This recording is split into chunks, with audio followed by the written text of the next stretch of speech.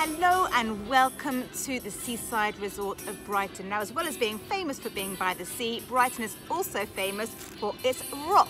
Not the granite variety, the edible variety, sticks of rock. These are all traditional Brighton sticks of rock. Let me show you the rock shop which sells them and then I'm going to put them to the taste test.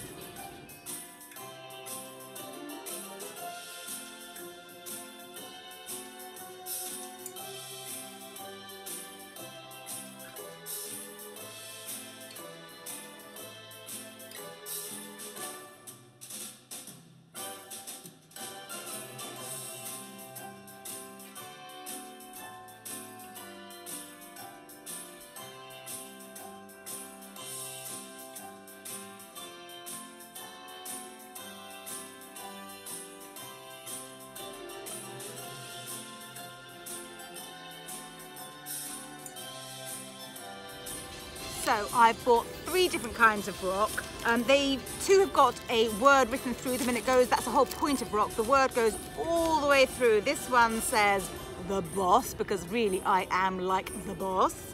This one says hot lips because hmm, who doesn't like to have hot lips? And this one is rhubarb and custard because I kind of like rhubarb and custard and thought I'll just try the rhubarb and custard. I don't think this is very good for your teeth. My dentist is not going to thank me for it. There you go. That says hot lips in more detail. I hope that's the right way around. Hot lips. I think that's back to front. Whatever. I'm going to taste the hot lip. Oh, God. That is so bad for my teeth. really, really bad for my teeth. Actually, it's less hard than I thought. I could crumble it in the end. Can you see that? And it says hot lips all the way through it very, very sweet.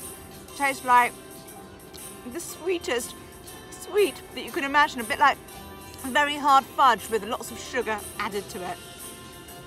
I, I don't think I'm actually going to try the boss because I'm going to maybe save that for when I'm feeling really bossy back at home.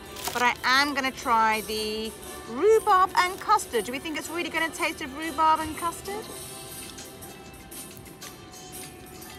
Maybe, like a teeny bit of rhubarb. I can get a hint of rhubarb the longer it settles on my taste buds.